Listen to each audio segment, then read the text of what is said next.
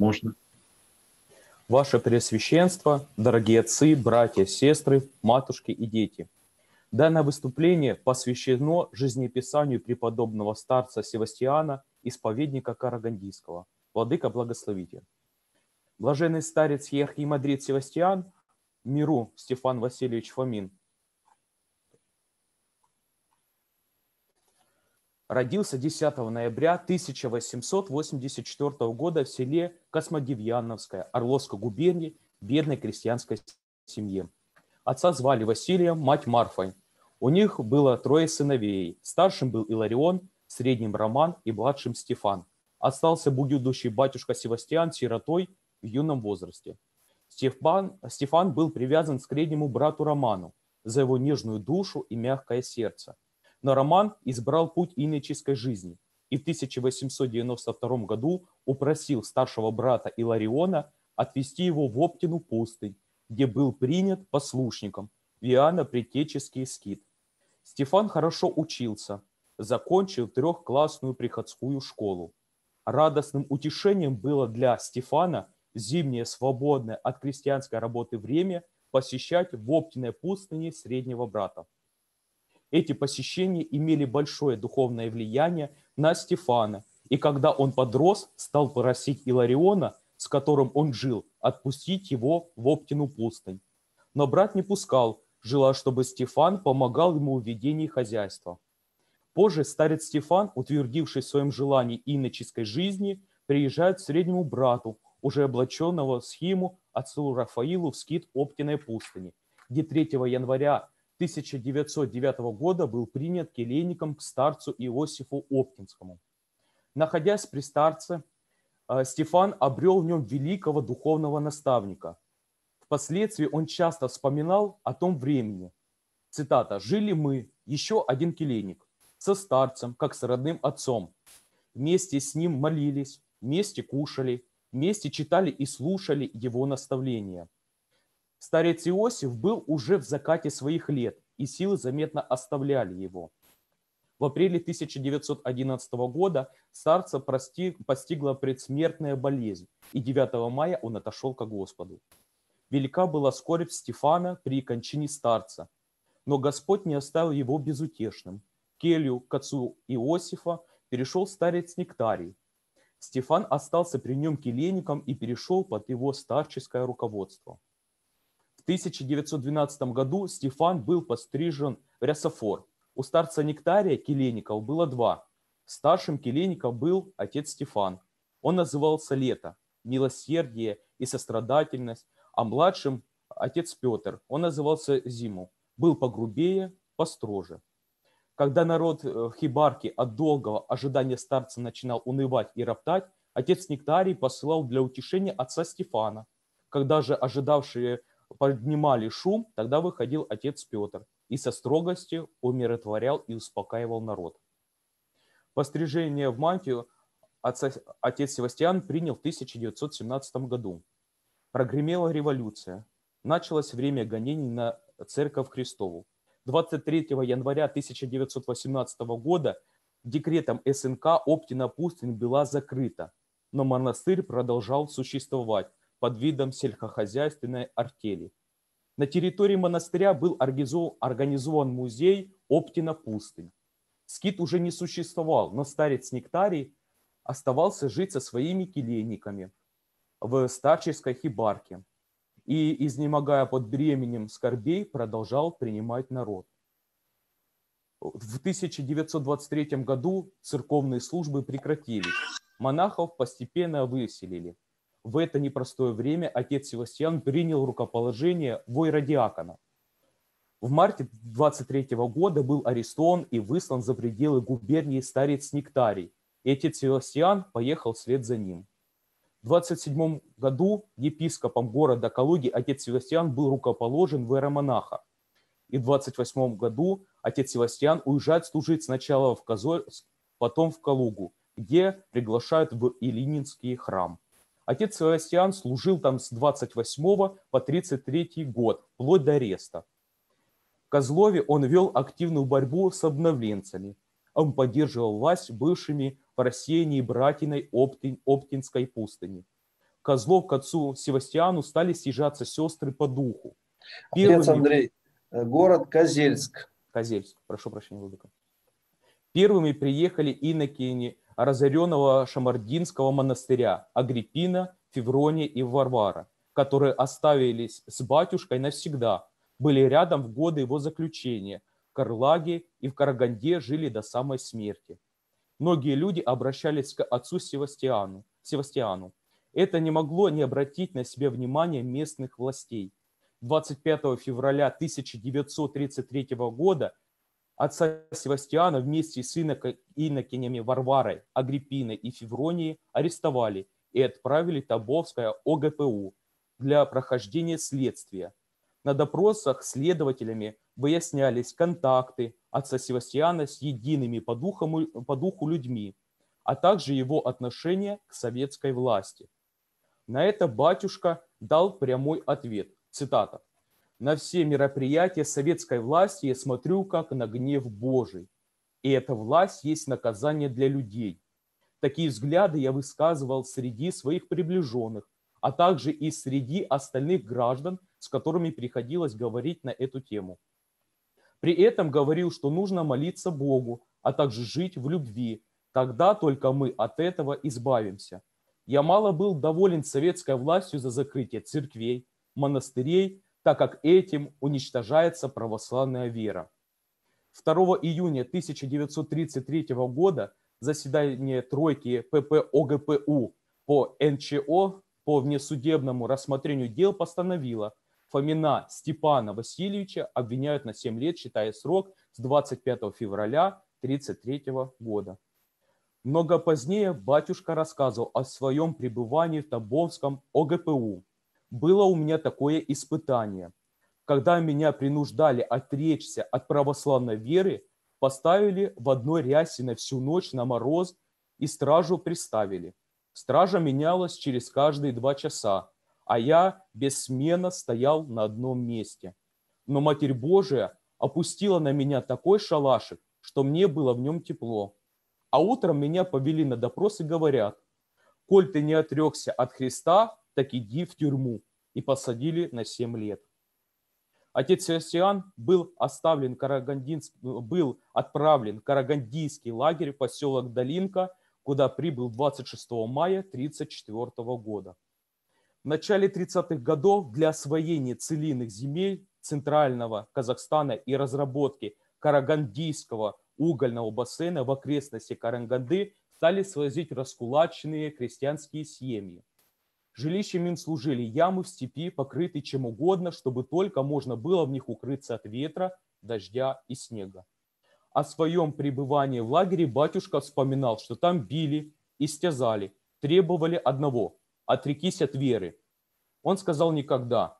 Тогда его отправили в барак к уголовникам. Там сказали, тебя быстро перевоспитают. Можно представить, что делали уголовники с пожилым и слабым священником. Жители ЦПО полюбили батюшку. Многие давали ему продукты, пироги, сало. Что Бог он кушал, а сало отвозил заключенным в отделение. Цитата. «В заключении я был», вспоминает батюшка, «а посты не нарушал. Если дадут баланду какую-нибудь с кусочком мяса, я это не ел, менял на лишнюю пайку хлеба. Сестра Агриппина в 1936 году перебирается в Караганду поближе к отцу Севастиану.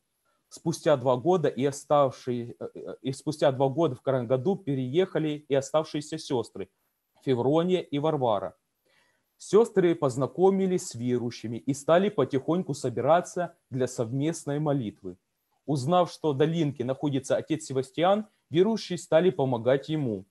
В воскресные дни сестры приезжали к батюшке в отделение. Кроме продуктов и чистого белья, они привозили святые дары, поручи и петрохиль. Все вместе выходили в лесок, батюшка причащался сам, и сестер исповедовал и причащал. Заключенная и лагерное начальство полюбило батюшку. Злобу и вражду побеждали любовь и вера, которые были в его сердце. Многих в лагере он привел к вере в Бога, и не просто к вере, а к вере настоящей. И когда отец Севастьян освобождался, у него в зоне были духовные дети, которые по окончании срока ездили к нему в Михайловку. Отец Севастьян был освобожден из лагеря 29 апреля 1939 года, накануне праздника Вознесения Господня. Он пришел к своим послушницам в крошечный домик в Большой Михайловке. Сестры работали, батюшка занимался хозяйством. Вместе молились, батюшка тайно совершал литургию и ежедневно вычитывал суточный круг богослужений. Перед войной он ездил в Тобовскую область. Духовные чада старца, много лет ожидавшие его возвращения из лагерей, надеялись, что он останется с ними в России.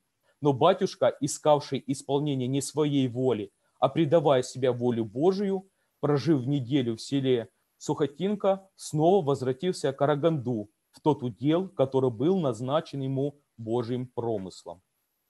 В 1944 году был куплен на Западной улице дом побольше. Отец Севастьян ходил по дому, все по-хозяйски оглядывал и говорил, что и как надо переоборудовать. В новом доме на Западной улице была устроена небольшая домовая церковь, где отец Севастьян тайно совершал божественную литургию. Шло время, Жители Михайловки, узнав о батюшке, стали приходить, э, приглашать его к себе в свои дома. Разрешения на совершение треп не было, но отец Севастьян ходил безотказно. Народ Караганде был верный, не выдадут. Отец Севастьян говорил, вот вам, батюшка, послужи, а вы знаете, что я переживаю, ведь он нарушал закон, любое время могли прийти и всех арестовать. И впоследствии, когда в церкви служили открыто, у батюшки этот страх немного остался. Однажды кто-то из чат сказал батюшке, я боюсь вот такого человека. А он улыбнулся и говорит, да, а я вот не боюсь его. Я никого не боюсь. А вот боюсь, что церковь закроет. Вот этого я боюсь. Я за себя не боюсь, я за вас боюсь. Я знаю, что мне делать, а что вы будете делать, я не знаю. Боясь это отразилось на его здоровье. Не только в Михайловке, но в других районах полюбили батюшку, поверили в силу его молитвы. Со всех краев в Караганду стали съезжаться духовные чада старца. Он всех принимал с любовью и помогал устроиться на новом месте. В ноябре 1946 года по благословению старца православные жители Большой Михайловки подали соответствующие местные органы власти заявление о регистрации религиозной общины – не добившись на месте положительного результата, верующие неоднократно обращались ходатайством в Алмату, ездили хлопать, хлопотать и в Москву. В результате в 1951 году Михайловский молитвенный дом, где некоторое время все-таки совершались требы, был окончательно закрыт.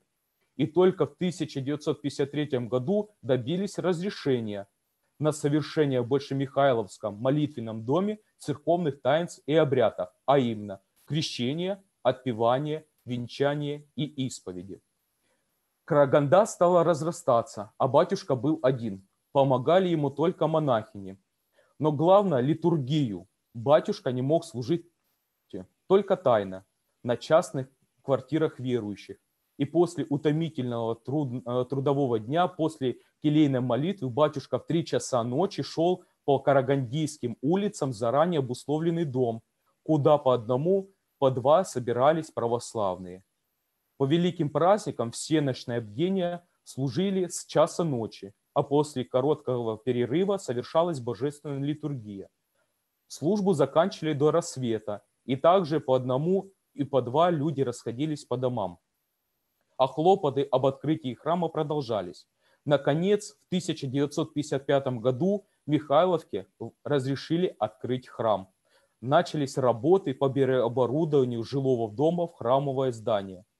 В этом же году, в день праздника Вознесения Господня, был, освя... была освящена церковь в честь Рождества Пресвятой Владычицы нашей Богородицы.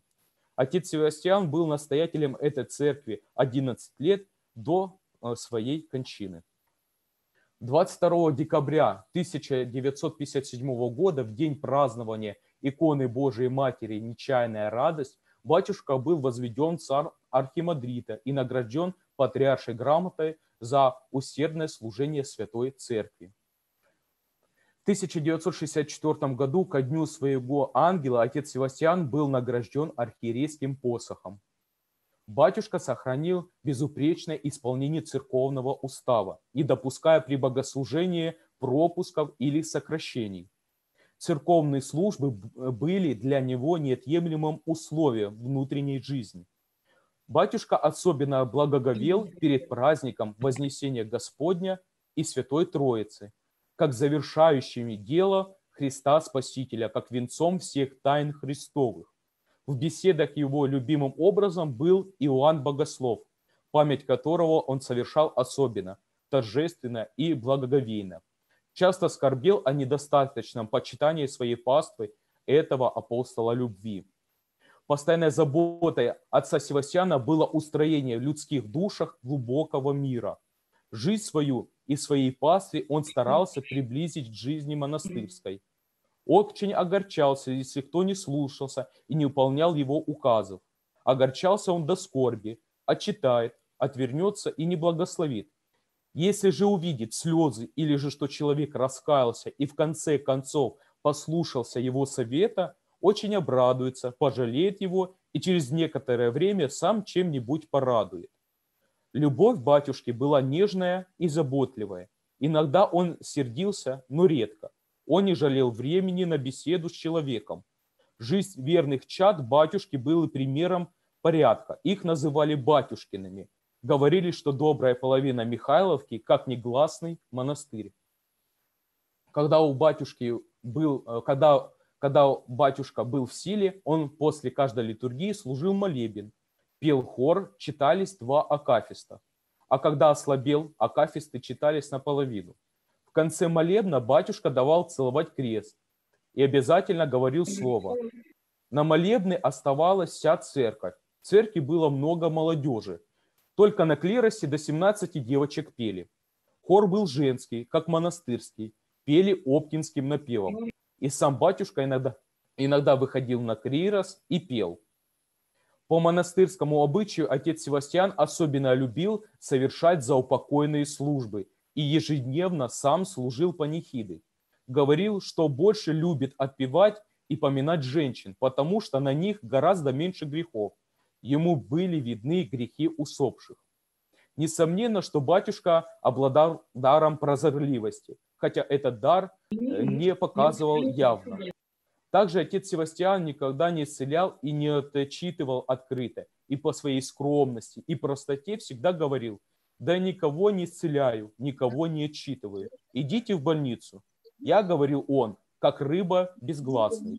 Так он себя уничижал. Батюшка помогал людям своей тайной молитвой. Он был совершенно лишен самолюбования и самодовольства.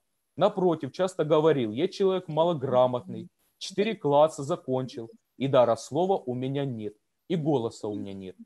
Проповеди он чаще читал по книге, ничего от себя не прибавляя, а сидя за столом со своими духовными детьми, иногда что-нибудь рассказывал, но спокойно, скромно, не выставляя себя на показ. Отец Севастьян был очень деликатным, тактичным, никогда никого не унизил, не оскорбил, не оборвал он никогда не подчеркивал физических недостатков человека. Вокруг батюшки было высоконравственное поле, попадая в которое делать подлости, говорить грубо было невозможно. Представители местной власти все разговоры предпочитали вести со вторым священником, отцом Александром Кривоносовым. Духовная высота отца Севастьяна ими явно ощущалась. Она как бы пугала их, внушая благоговейный страх. У батюшки не было особых любимчиков. Ко всем он относился ровно и этим еще больше сплачивал вокруг себя людей. У него была духовная мудрость, великое терпение. В тех местах, где он бывал, в данный момент образованы приходы по его молитвам. Бывало он и в э, поселке Долинка, где отбывал срок заключения. Также среди людей, окружавших старца, было много монашествующих, высланных Караганду в годы гонений или позднее приехавших к нему из России других республик. Среди них были люди уникальные, талантливые подвижники высокой духовной жизни. В целом это была крепкая христианская община, степной казахстанский скит, который во время безбожного коммунистического режима сумел организовать и взрастить на, свят, э, на святой земле карагандинских лагерей Оптинский старец. Отец Севастьян не благословлял своим духовным чадом ездить по монастырям. Как он говорил, здесь и Лавра, и Почаева, и Оптина. В церкви службы идут.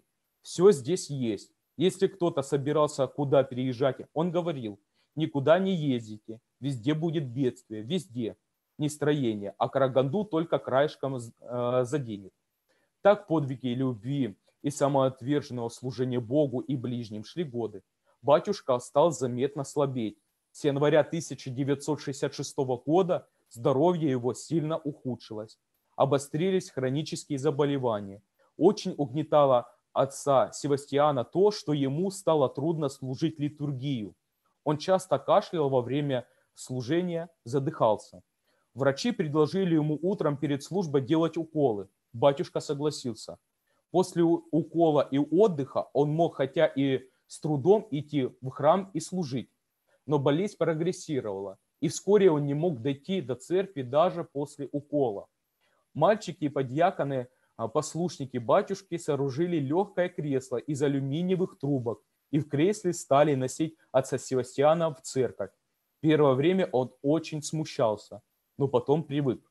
Наступил Великий пост 1966 года, последней жизни старца. Первую неделю поста отец Севастьян служил ежедневно. В воскресенье торжества православия служил литургию. В эти дни он ни с кем не беседовал, никого не принимал. В воскресенье шестой седмицы батюшка не служил, а сидел в алтаре в кресле. После причащения велел спеть «Покаяние отверзими двери жизнодавче». С этого дня силы старца заметно покидают его. 10 апреля в пасхальную ночь отец Севастьян хотел, чтобы его несли в церковь, но не смог подняться. Все окружившие его пришли в душевное смятение. Но батюшка сказал, «Зачем вы ушли из церкви? Я еще не умираю, еще успею и здесь, и с покойниками похристосоваться. Идите спокойно на службу». Утром 12 апреля, во вторник Пасхи, отец Севастьян чувствовал себя лучше, дышал свободно. Мальчики понесли батюшку в церковь. Посидел немного у престола, потом поднялся, вышел в царские врата на Амвон. Встал, опираясь на посох, и стал прощаться с народом. «Прощайте, дорогие мои, ухожу я уже. Простите меня, если чем огорчил кого из вас. Ради Христа простите. Я вас за все прощаю. Жаль, жаль мне вас. Прошу вас об одном, об одном умоляю, одного требую. Любите друг друга, чтобы во всем был мир между вами, мир и любовь. Если послушаете меня, а я так вас прошу об этом, будете моими чадами. Я недостойный и грешный, но много любви и милости у Господа. На Него уповаю. Если удостоит меня Господь светлой своей обители, буду молиться о вас непрестанно и скажу, Господи, Господи, я ведь не один, со мной чада мои. Не могу я войти без них, не могу один находиться в светлой Твоей обители. Они мне поручены Тобою. И потом тихо, еле слышно, я без них не могу, сказал. Хотел поклониться, но не смог, только наклонил голову. Мальчики подхватили его под руки, повели в алтарь, в храме все плакали.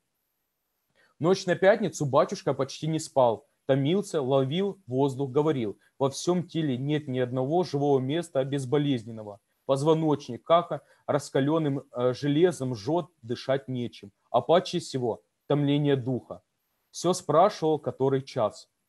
В субботу 19 апреля в 9 часов утра приехал с аэропорта духовный сын батюшки и владыка Петерим Нечаев. Сразу пошел к старцу и был поражен его видом. После обеда состояние отца Севастьяна резко ухудшилось. Он попросил срочно пригласить к нему владыку Петерима. Пришел владыка. Батюшка попросил его сейчас же приступить к чину пострижения в схиму. После пострига батюшка говорил очень мало. Удивительно преобразилось его лицо и весь его вид. Он был преисполнен такой благодати, что при взгляде на него трепетала душа и остро ощущалась собственная греховность. Эти, это были величественный старец и уже не здешнего мира житель. Понедельник вечером на э, Парастас Радонице отец отца Севастьяна носили в церковь. Он слушал пение, часто крестился. служил владыка Петерим. Когда пропели вечная память, велел нести его домой. После службы беседовал с прилетевшим из Мичуринска отцом Иоанном. «Успели вы ко мне приехать, а я успел сегодня похристосоваться со всеми усопшими и помолиться за них. Вот ведь какой день хороший. Сегодня владыка помолился и завтра помолится за всех моих усопших чад. Дожил я до радоницы, Господь милостив. А усопшим так нужны, так дороги молитвы за них живых. Я за усопших больше всего всегда молился, и вам, отец Иоанн, завещаю, молитесь за усопших больше всего, за все, слава Богу, слава Богу за все. Утром 19 апреля 4 часа 45 минут батюшка умер. Был вторник Радоницы. Со всех концов Казахстана, Сибири и европейской части России под благодатную сень батюшкиного храма съезжалось духовенство и миряне, духовные чада старца, священники беспрерывно служили панихиды, пел хор. На третий день батюшку хоронили на Михайловском кладбище. На катафалке гроб везли только небольшой отрезок пути до шоссе. Свернув на шоссе, гроб понесли на кладбище на вытянутых вверх руках. Он плыл над огромной толпой народа и был отовсюду виден. Все движение на шоссе было остановлено. Народ шел сплошной стеной по шоссе и по тротуару. Окна домов были раскрыты, из них глядели люди. Многие стояли у ворот своих домиков и на скамейках. Христос воскресе, пела вся многотысячная толпа. Сквозь толпу к гробу пробирались люди, чтобы коснуться его рукой. Многие ушли вперед и ожидали гроба на кладбище.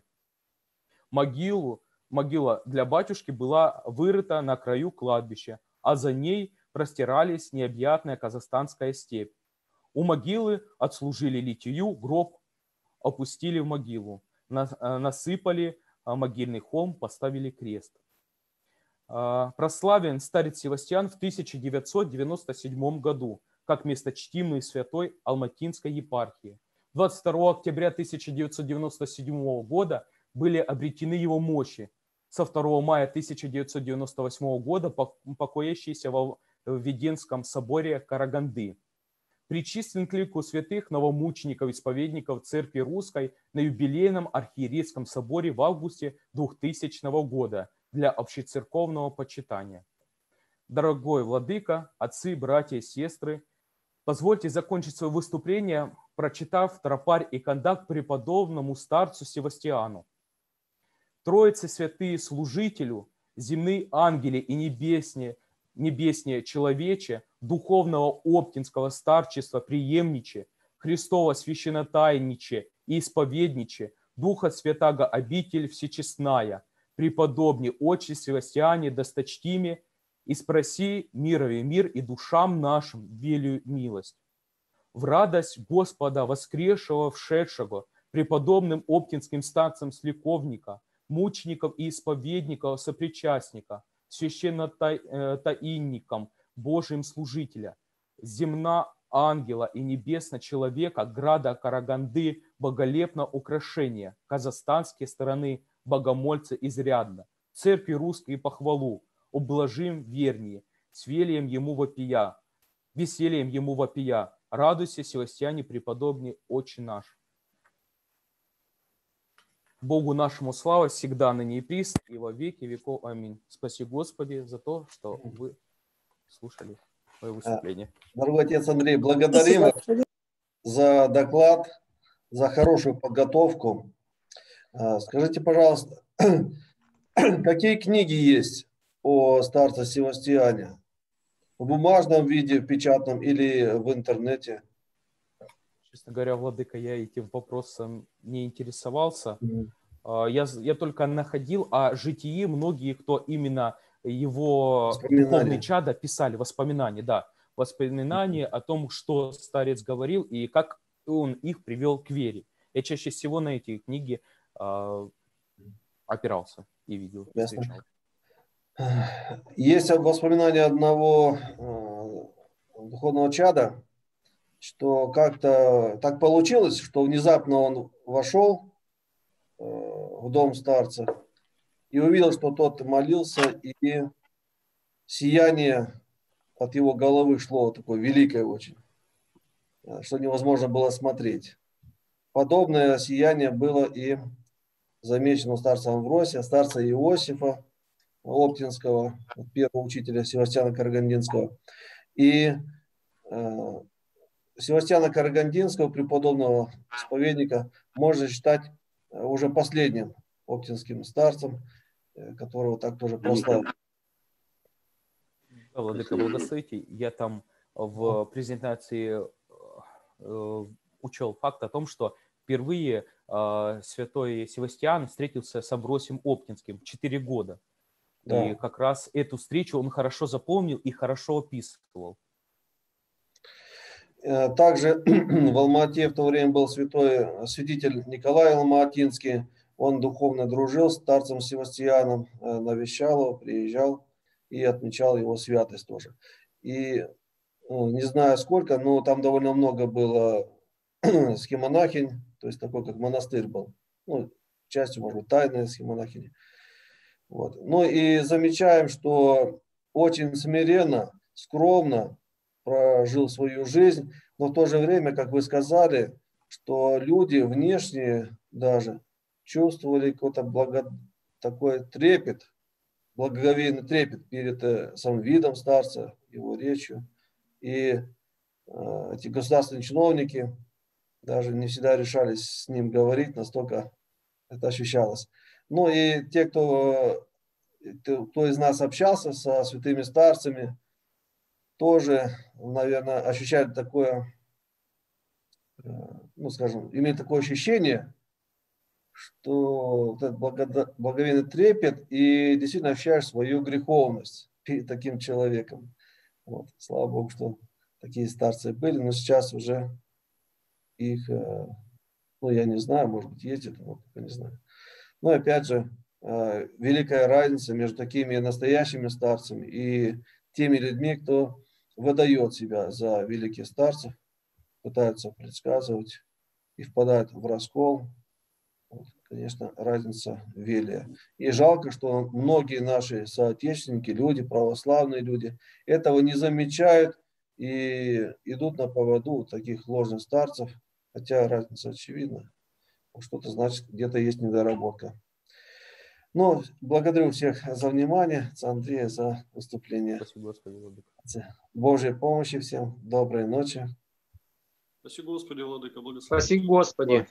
Благословите. Благословите. Спасибо, Господи.